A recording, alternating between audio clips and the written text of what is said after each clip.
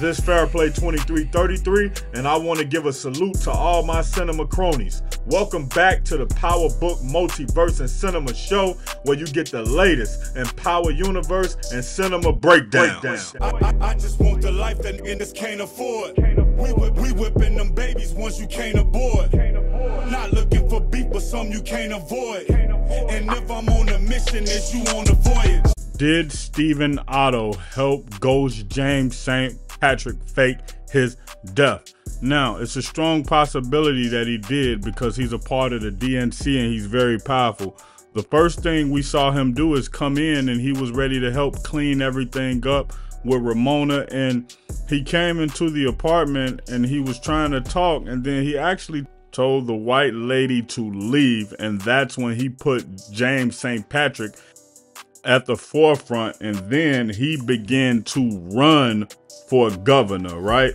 So when we look at this situation, we have to understand that James St. Patrick was in a position, he was in power, he could do no wrong, and this guy made sure that everything happened. The second time we saw him, and I mean the second time we saw him flex his power, we saw him walk into the Fed's office and fire Jacob and told Jacob to get up out of here. He told him, hey, that next call you'll be getting will be you getting up out of here. So you got to stop playing games. So when we look at somebody in a position of power like this, um, he can 1000% know more than what meets the eyes. And he can also be pulling strings behind the scenes. Now, he definitely come off as someone who believes James St. Patrick is dead.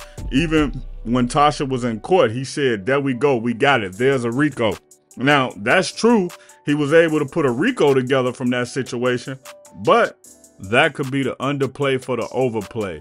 The real thing could be him trying to hide that James is actually alive to give James a chance to recover, a chance for uh, James to come back and get healthy. And I know a lot of y'all are basically saying, hey, the only reason James' body wasn't showed because he wasn't under contract. Now, we under the assumption that James is back under contract now. Um, he was saw on the Power Book 4 set. I did a video about that. I was the first person to report that. Um, when he actually posted the Ghost tribute to his story on Instagram, I was the first person to report that. So when I'm looking at it from that standpoint, he's probably back under contract, but he could have been under contract all along and just making it seem like he wasn't under contract or he wasn't in the power universe anymore in order to sell um, the storyline. And the one reason I think about that is because he was going around doing a lot of interviews. And in those interviews, some of those interviews wasn't about nothing. He was just pulling up and he was talking. And when have you ever known Omari Hardwick to pull up and just do press? He seems like a person who he understands that acting is a job and the money make him move. He not doing nothing if it's not about the money. So when he pulls up and do a random interview, but the interview is about power, I feel like that's a disinformation interview where, you know, all right, James, we want you to go, up. I mean, all right, Omari, we want you to go up here. When people ask you about ghosts, you know they're gonna ask you about ghosts. I want you to act like it's a discrepancy between you and us. Um, all of that type of stuff, right? Um, and that helps the other storylines go along because if you don't, um, it was so much uh, noise around is James St. Patrick alive? Was he dead? It was actually taken away from the storyline of Power Book 2 Ghosts with Tariq. And people was watching it, but they wasn't really following. Now, if I was one of the showrunners for Power Book 2 Ghosts, I would have just let people continue to think that he was alive or dead. It, it created a bunch of conversation and now you can watch the show from a perspective of man i'm trying to see if it's any hints that he's still alive. Will Tariq say anything? Opposed to once this a this a trick in media right? When somebody says something about you good or bad depending on how bad it is.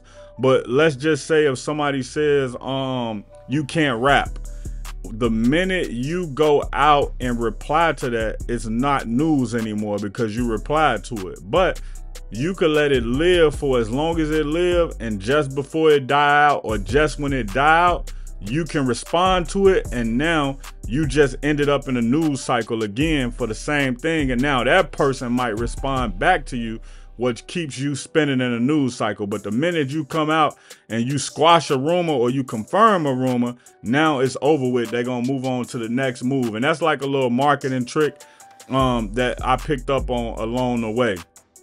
So when we look at this situation, Steve Otto, Ott, Steven Ott, I mean, he's OTT is his name.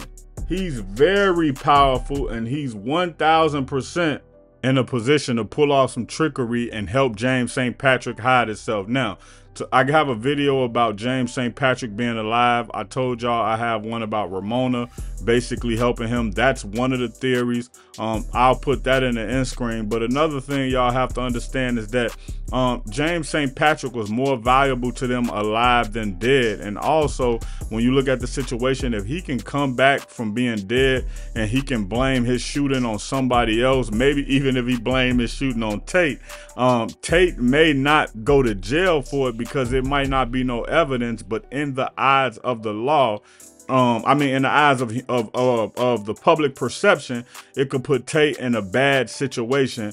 And you have to understand that Tate already shot and killed somebody when he killed Alfonso at the robbery. So when you look at it from that standpoint, you 1000% can just paint him out to be this bad guy.